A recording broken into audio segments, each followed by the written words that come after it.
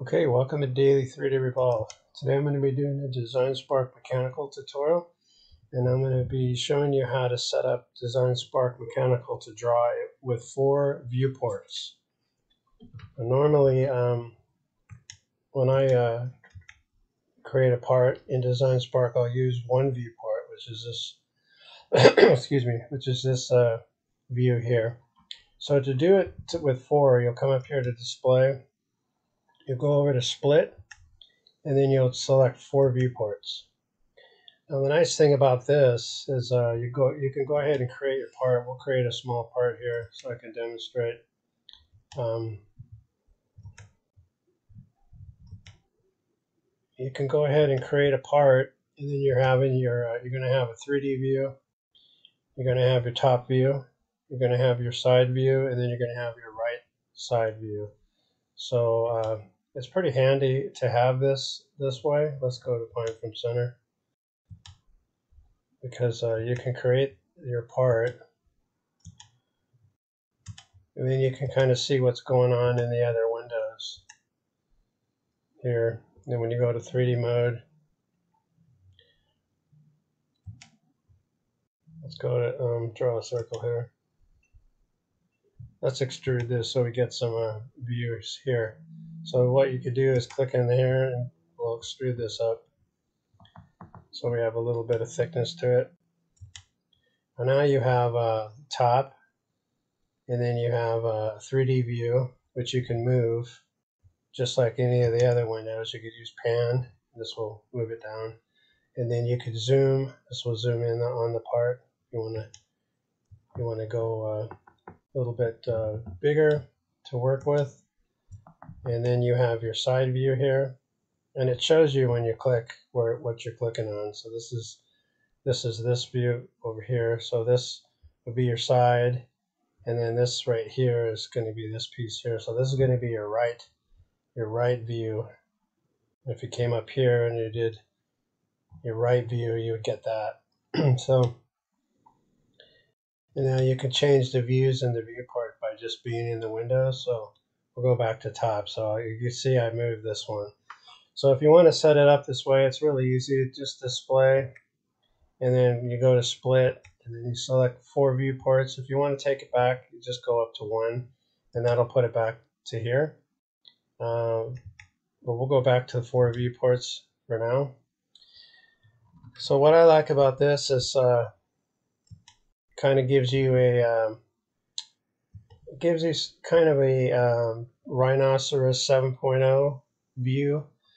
Um, that program has four viewports, and MoI 4.0 has four viewports.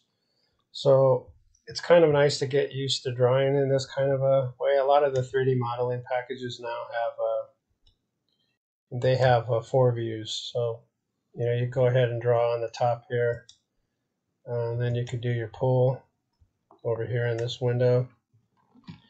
then if you wanted to add something here, you could you could go ahead and like a like a maybe like a um, circle. You could go ahead and add it over here, and then you could add one over here.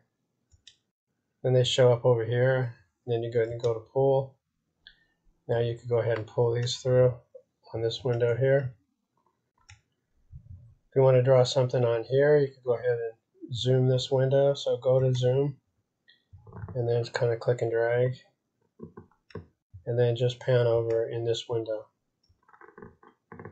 now you could draw something here if you wanted to uh, maybe draw like a square.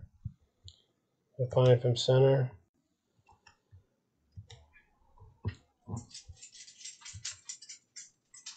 Then we'll go ahead. we'll go ahead and pull that. And then you could uh, rotate excuse me you could rotate this this for you to see what you're doing and then you can see it here. Um, and if you click on the actual box you're going to see over here you're going to it's going to show up. Look you see that little line there? That's showing you where that is. And then it shows it over here too. So so you got that there that you can do. Um, and then you can go ahead and do your, you know, add your fillets here. and then show it's going to show the top. It's going to show you 3d view and then it's going to show the side view here and then right side view. Uh, this is a good this is kind of a good way to learn. Um, it's kind of kind of odd sometimes you know especially if you're drawing in a program like uh, blender or uh, um, MoI 4.0 or rhinoceros 7 it automatically gives you the four viewport windows, but you can specify one in all those programs. So, um, you know, if you're new to those kind of programs, it's it's sometimes better to have the, have uh, four views out here because then you kind of get more of a sense of uh, what's going on. You know, like if you have to uh, put something over here, like you have to put a circle there and then um, if you have to move that circle, you could do it there. If it's a 3D, if you needed to rotate this, you could. Um, it's easy in each one of these views. You can kind of see what's what's going on. You see that we rotated that up. Let's undo. And then um, if you wanted to draw over here, um, you could do the same thing there. You could go ahead and go to move, and then you could rotate that. Rotate it this way, 90 to 80 degrees. Now you have a now you have a shape there. And then if you wanted to pull that, you could both sides.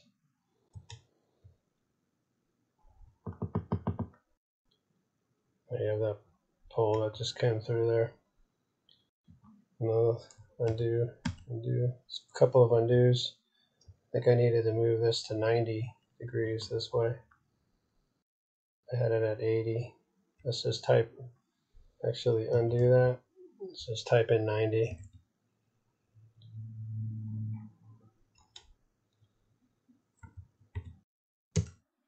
We'll 90 there and then we'll pull both sides. Now you have a piece there. So all your views um, are showing you what's what's going on. If we just put a, a, a pole through there or a little round pin, shows it shows you the pin over here, shows you the pin here, and then it shows you the pin here. So if you had to move this pin over, uh, you could, it'd be easy to do it maybe in this view. Here you could select just the pin and then you could go to your move and then you could just drag it over here like this. So if you wanted it to be right in the center, you put it there. If you wanted it to be over here, you could do that. Or if you wanted to copy that, you could Control C, Control V, and then you could just drag it over here, which kind of gives you a better idea where that pin is in relationship to stuff. And then if you have to move this over, you could do that. Just grab that, move it over. Kind of gives you a better idea what you're looking at. Now you have this kind of part here. So, um, and all these all these uh, windows or these viewports they call them, you could move stuff around. You could zoom in. Uh, you can move this around. You could rotate it. you could move this here. Can't rotate these obviously because they're not. It's not a 3D view. But um, you kind of want to keep them like this. So this is just telling you what's going on with your part. And if you wanted to put something else in here, you could do it in the top view and then you could extrude it over here. And then you could move stuff maybe in this window. Um, and then if you want to go back if you're if you're all done with that with your part done with drawing your part you want to go back you just hit display. Uh, you come over here to split and then you go down to four view or you go down to um, sorry one viewport. Now you're back to this view. And then you could uh, come up here and just change your view to uh, isometric. And then you have the three you have the isometric 3D view. Um, and also, you your um, the options are to have uh, two horizontal viewports as well.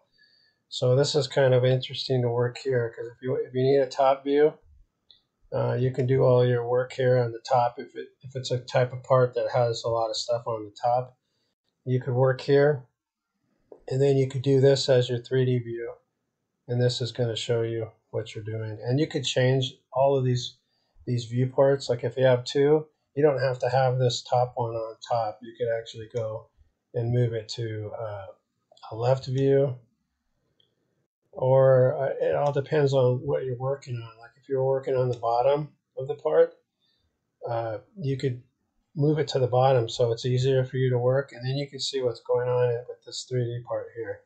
Or you could move it here to the front. If you have stuff that you're putting on the front of the part, then you could move it this way. Um, or you could do uh, over here, you could go to split and go to the vertical viewports, which puts them this way, and then you can adjust the, the, the window. Just drag the window in here. So if you wanted, if you were doing a part that had a lot of detail in it, you could blow this one up, and then you could maybe move over if you just needed it to be smaller, needed this one to be bigger. That way it shows you more uh, what, what's going on over here. This is more zoomed in. And then you have two, so you don't have to keep going back. And then um, so you can always do change uh, the parts. So you go back to top. Now we have a top view. And then when you're when you get tired of working in this mode, you, you have the option to go back to the one viewport. Uh, and that's kind of a that's kind of um, limiting sometimes because uh, every time you either have to um, you either have to spin the part which is what I do quite a lot to kind of see what you're doing. Or you have to come over here and change to the isometric view, or you have to change to the front to see what's going on there, or to draw something on the actual uh, your geometry. If you wanted to go to the right, you'd have to put see what's going on here. Maybe we need to put something in here. But um, excuse me. But if you do the um, the display and then uh, split body, two horizontal viewports. Then you you can see what's going on here, and then you can rotate this. Um, know, if you wanted to rotate that a little farther over so you could see this, then you could come in here. Maybe you need to put something in this right here. Now then it's uh, you're going to see it over here.